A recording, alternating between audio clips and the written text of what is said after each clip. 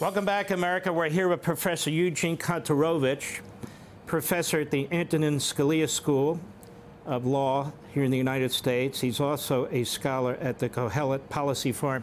Professor, let's get to it. Why are you being lectured in Israel constantly about the rules of law and proportionality when you're up against a terrorist enemy that wants to blow out every Jew in, uh, in, uh, in Israel?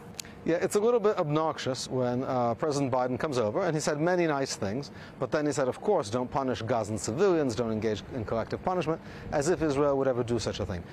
Biden has an interest. He needs to support Israel. Uh, you know, at least openly and somewhat, to not lose the Jewish vote in the elections. But he also wants to keep this fight contained and keep Israel from going all the way and actually taking out its enemies. Because Hamas the people who perpetrated this horrible massacre are simply puppets of Iran. And of course, Biden's Middle East policy, like Obama's, has been focused on making nice with Iran. He transferred $6 billion to Iran. He has lifted sanctions on Iran. So in the end, Israel cannot be safe unless it takes out its Iranian backed proxies on its doorstep, Hezbollah and Hamas. But ultimately, Iran needs to be dealt with also. And the bigger this war gets, the more it's going to be a reminder of Biden's failed Middle Eastern policy and his appeasement of Iran. So he wants Israel to do something because he understands Israel has to do something, but he does not necessarily support Israel going all the way, taking out Hamas, and actually preventing it from coming back. Because that's what Israel really needs to do. A country cannot live with a massacre like this every 20 years, which means Israel must take out Hamas and it must make sure it never comes back. And to see how you do that, you have to look at Nazi Germany, which was also a totalitarian society, authoritarian society, but with broad popular support. That means you have to come, you have to take over, and you have to make them really understand that they lost and go through a denazification policy. It means you have to change the borders. Uh, it means you have to really get rid of all the bad guys and uh, you know not let the people who supported them come back into power.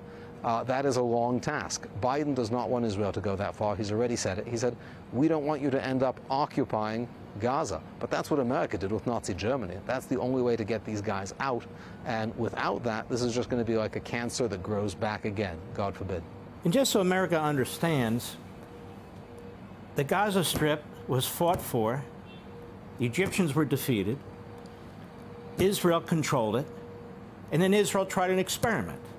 It gave the Gaza Strip to the Palestinians, who elected a terrorist regime that has used this so called two state solution to try and pursue a final solution, correct?